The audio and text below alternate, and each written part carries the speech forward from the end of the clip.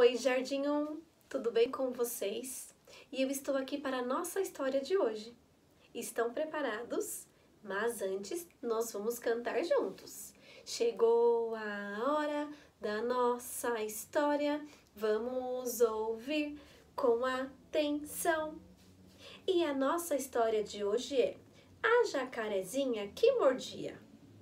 Era uma vez uma jacarezinha muito meiga e fofinha, chamada Jaquinha.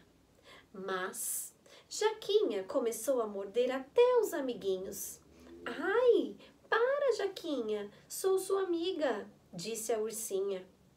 Ui, para, Jaquinha, não gosto da sua mordida, disse o hipopótamo. Ela não parava de morder.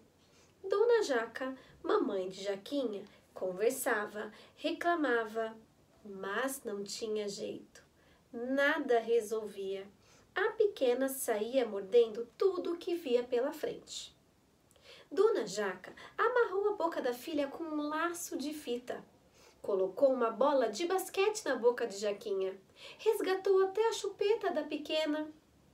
Nada funcionava.